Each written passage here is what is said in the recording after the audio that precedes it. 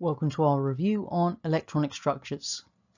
So the first thing we really need to consider here is how elements are arranged in the periodic table.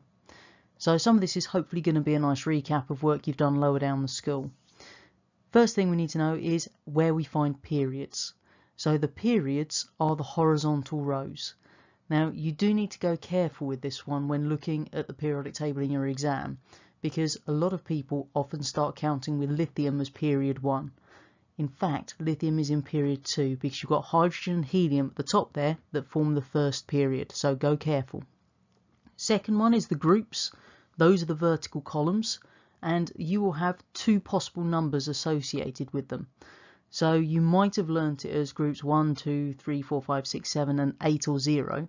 So those are the non-IUPAC group numbers or you've got the ones that are the IUPAC group numbers which go from 1 to 18 as you can see in the diagram at the bottom there. Now what we do find is that any of the elements that are in group together, so any of those elements in group 1 for example, have similar chemical properties and that's all down to the arrangement of the electrons being similar. So now if we go on to consider how the electrons are arranged in atoms. As we've already discussed back in C1, the electrons are actually arranged in shells around the nucleus.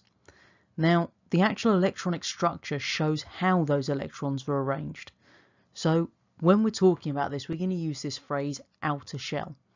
Now, that's just referring to the outermost occupied shell of the atom.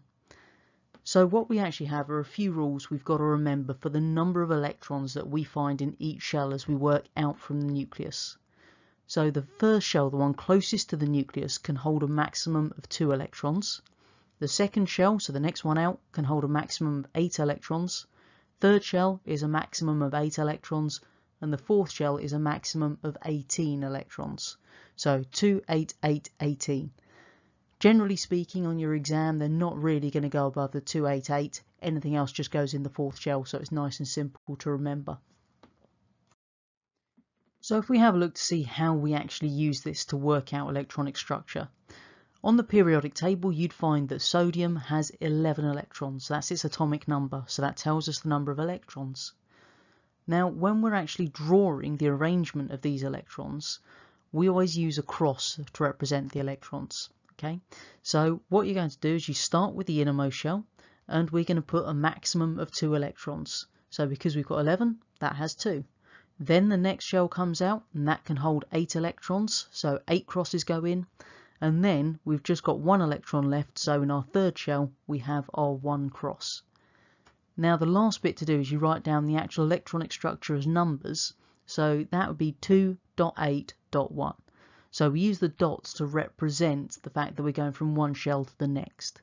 So always make sure you include the actual numerical electronic structure as well, not just the drawing. Once you've actually worked out that electronic structure, that does give you quite a lot of information about that particular atom.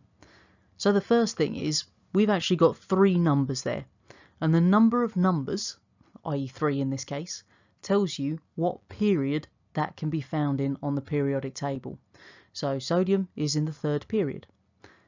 The last number in its electronic structure is going to be its non-IUPAC group number. So in this case, it's the number 1, therefore sodium is in group 1.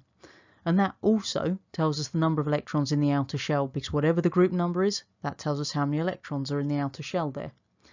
And then finally, if you add up all those numbers, we've got our atomic number. So 2 plus 8 plus 1 gives us 11, which is the atomic number of sodium. Hopefully at the end of this video you now know where you will actually find the elements on the periodic table how they're arranged into the groups and the periods, and that you can also draw the electronic structures for each of them and interpret it in terms of what period it's in, what the atomic number is, what group number it's in.